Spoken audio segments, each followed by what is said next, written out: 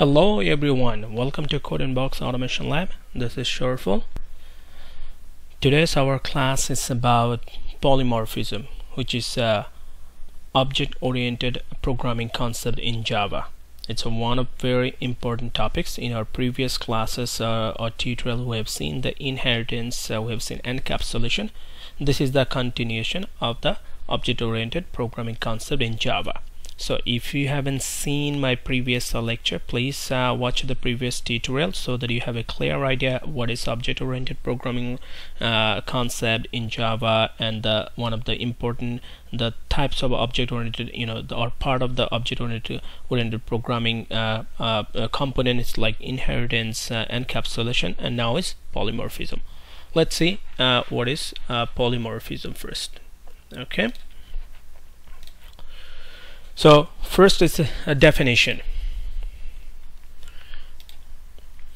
What is polymorphism? Poly, we know it's it means uh, many. It means many, and morphism means its form. So polymorphism means means many forms, and it occurs when we have multiple classes that are related to each other by inheritance. The most common use of polymorphism in OOPS concept when a parent class reference is used to refer to a child class object. So here is a few uh, key point. Uh, it's a it's a relationship between many classes following inheritance concept. So you have to know the what is inheritance. So please again if you, if you haven't seen my tutorial about the inheritance, please uh, check uh, uh, uh, my previous tutorial about the inheritance. Then you will understand okay? So it will be two classes and one class will be parent another class will be child. So you can see here is an example. WebDriver is a class and also there is another class is called Chrome driver. WebDriver is an interface class and Chrome driver is a, another class. So when you create a, an object of a class say uh, Chrome driver I we use the new keyword then Chrome driver and you equals to you put in a variable like a driver and then you know uh, on the left on the left side example you just you write a driver as a variable and its return type is web driver. So all together we can say driver the driver variable this is a variable for web driver and also this is an object reference variable for Chrome driver object because driver is uh, is pointing to Chrome driver class which is the Chrome driver object. So driver it has a very dynamic role. It has knowledge about the web driver interface as well as it has knowledge about the Chrome driver object. So that's why you can see the the last part you can you can tell uh, the uh, you can tell over here uh, you can tell over here. So this driver object is a driver is a variable of web driver which is the parent parent class. This web driver is a parent class. So parent class drive variable is working as a object reference as a, as a reference to child class object. Okay? So this is the that's the way it's going to relation uh, relationship established. So you can see here the class most common of the polymorphism in OOPS when a parent class reference parent class reference is driver is used to refer. So this is uh, referring to a child class object which is new chrome driver. So this is one of the pure example a perfect example that a web driver driver equals a new chrome driver. And when you say many forms uh, so you can you can make a same type of relationship with other objects. Say yeah you can say uh, how about Firefox driver? So there is a uh, you know class uh, in Selenium. Uh, you can create an object of uh, that class of that of that uh, which is a Firefox driver. So you can say web driver driver equals to new Firefox driver. Similarly Internet Explorer driver. So web driver driver equals to new Internet Explorer driver or Chrome driver or or sorry or Opera driver. So this parent can have a relationship with many other child like Chrome driver, Firefox driver, Opera driver uh, and following the same concept following the same like parent drivers parent uh, classes uh, in a variable which is a driver will also uh, point to the uh, child class object okay? If this condition is fulfilled and a relationship established between two class you can say this is a polymorphism and uh, and also you know so we know uh, if you know the selenium you know then selenium uh, in its in a selenium uh, WebDriver is an interface and chrome driver is a class. And uh, the interesting part is that both classes have some common method, like click method, sendKeys method, get titles method, close methods. There's all the methods available in web WebDriver is also available in ChromeDriver. Uh, the difference is since WebDriver is an interface, so it means all the method inside the WebDriver the body definition is empty like the click method sendKeys all those body definition inside this uh, WebDriver interface are empty whereas the chrome driver have the same methods and including the you know the body definition it means the execution of those uh, drivers the code is available in chrome driver class. So how this driver all this method the click sendKeys get title close you know uh, get url all those methods how this method is going to be executed it's explained in chrome driver class Similarly, if you use instead of Chrome driver like Firefox, as Firefox has the same all the methods and the including the body definition. The reason why the WebDriver we use as an interface as a parent class because this is those are the methods like click, sendKeys, get those are the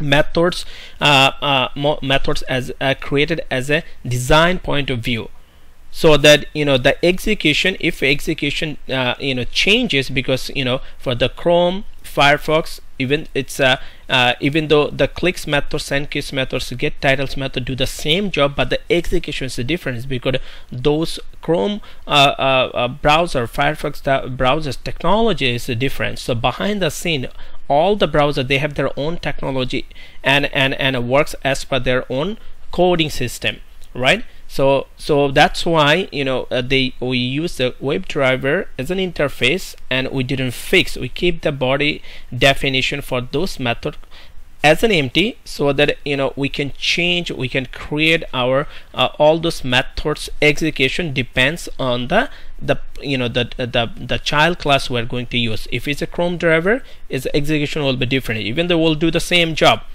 okay? So this is the relation that's why the WebDriver interface we use as a parent class as well as you know the other uh, classes we use as a child class.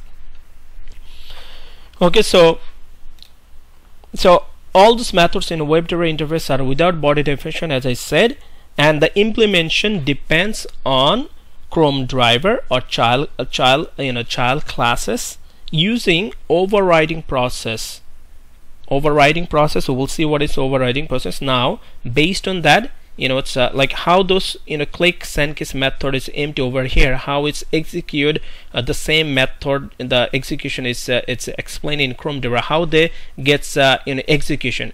Those things execute you know uh, execute it's a it's a there is a process in polymorphism. It's called over uh, overriding you know follow that process and gets executed okay? So based you know based on this uh, process the uh, the polymorphism are two types.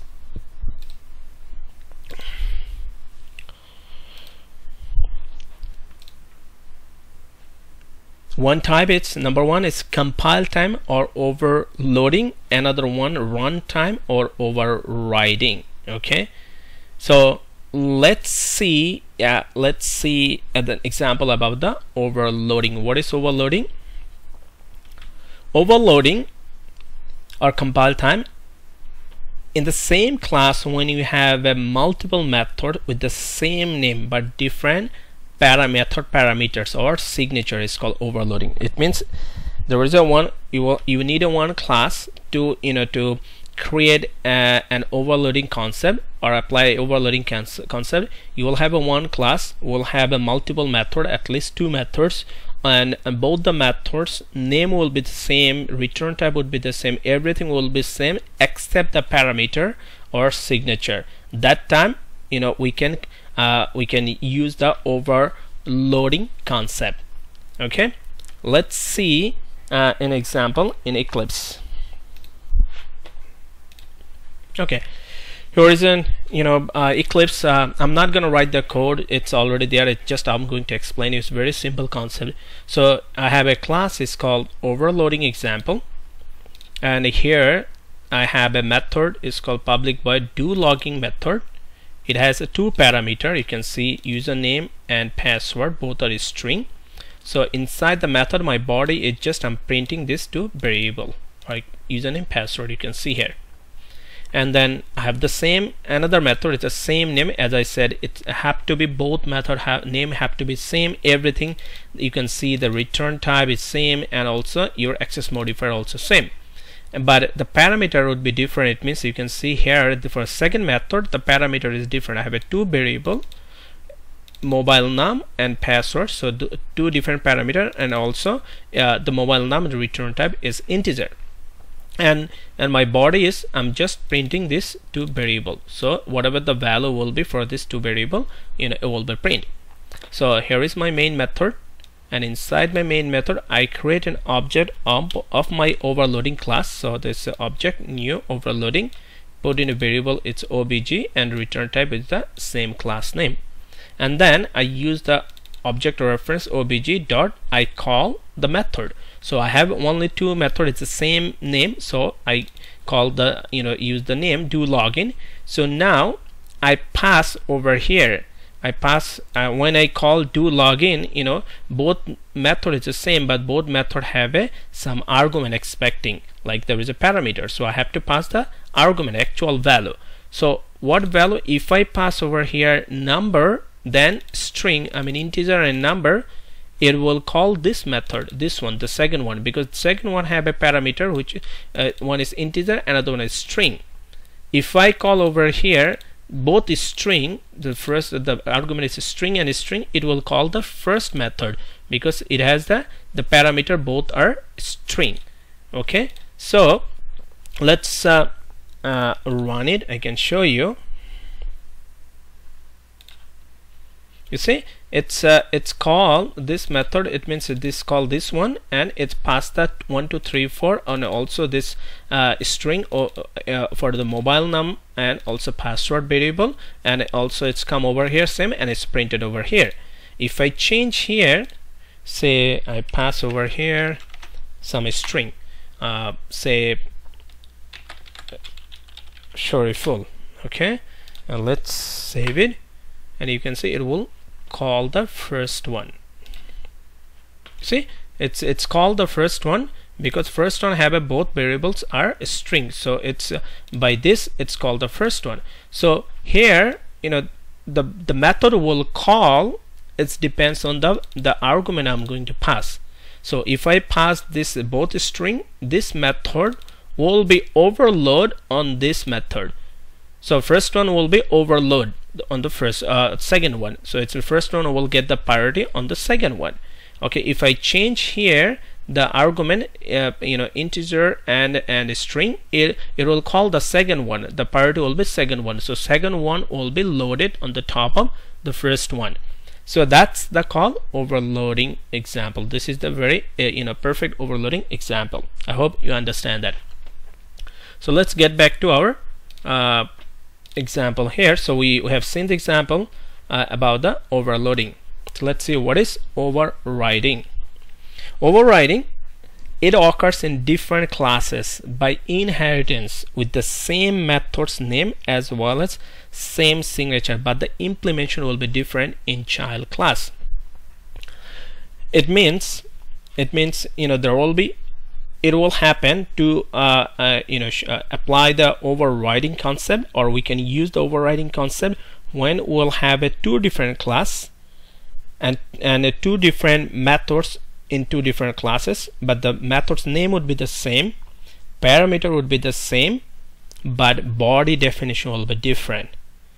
Okay so it will happen you need two different class but the uh, method name would be the same parameter everything would be the same except the body definition. That time we can you know implement we can use the overriding. So body definition will be changed that's the only different part but it will have to be happen in two different classes. And except that your method name parameter return type everything would be the same.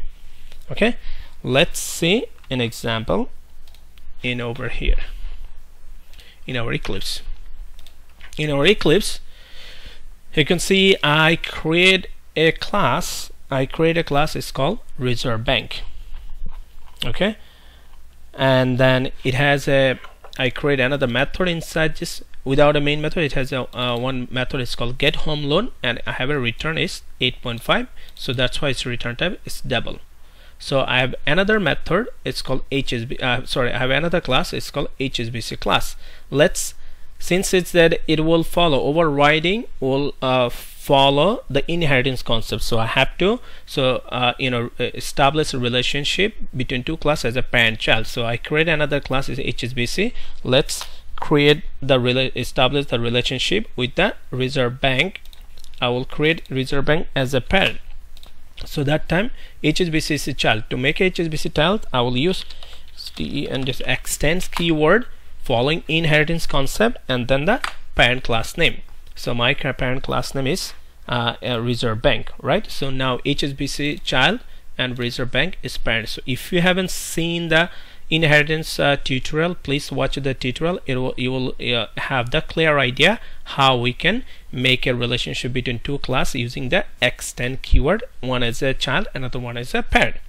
Anyways so here I have a main method and I said it's now it's a two different class. One is HSBC another one reserves right? So in um, uh, in uh, HSBC I will create the same type of method right? As I said the both classes will have the same type of method but body definition will be different. So let's copy the same type of method. I will just you know change the body definition. So let's uh, it means the return type. I will change this to instead of 8.5 I will make it 9.5 so body definition is di uh, different now.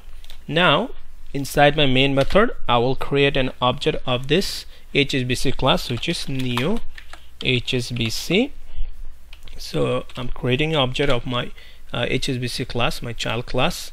Okay and then put in a variable it's called obj and then sorry let's make it obj and then hsbc hsbc right? This return type would be same class name now hsbc is pointing to my object which is my class. So and and my hsbc class. And since hsbc is a child class it has also full access uh, uh, uh, you know it has uh, it has full rights to access any properties of reserve bank. So indirectly obj have the knowledge of hsbc as well as reserve bank.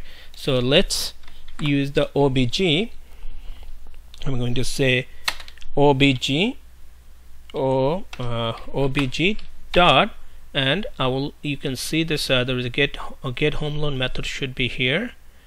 Uh, get home loan. Where is the get okay get home loan. This is the get home loan method. Okay. So let's print this. I call this get home loan method. So get home loan method in a child class have a return is 9.8 and also my parent class have a return is 8.5 except this the body definition the the method name return type uh, access modifier all are same. So I'm calling this method and I will print this. So it will print the either 8.5 9.5 you have to guess the which one will be called. Which method will be called? Is there a get home loan method from the parent or method from the child? Okay let's see it out. See it out and then I'll put this one in here okay object that okay. Right so I call get home loan method so which one will uh, will, call? Is that a, this this method from my child or the, the get home loan from my parents? If we run you will see is going to call the child one. So it means your my the same method in my parents gets override by the methods same methods in my child class. Okay so in the methods in child class gets the higher priority the method than the uh, you know method we have in in my parent class. If it's the same method name same return time everything is same just the body definition the implementation is the different that time it will get the higher priority the child one. Let's save it and run it. I can see it here we go. You can see the get home loan in my child class HSBC return return is 9.5 it's printed the 9.5 so that's called the overriding. So you know so the method this one it's get override uh, you know of the, of of that other one. The other one sorry other uh, the method from uh, uh, from the parents got override by this method. Okay? So i hope you understand you know so the uh, the method about you know the difference between the override and overloading. Okay so that's all about the, uh, the polymorphism and there's two types overloading and overriding. I hope you understand and, and enjoy the tutorial. Stay tuned and watch the next video. Thank you. You have a good one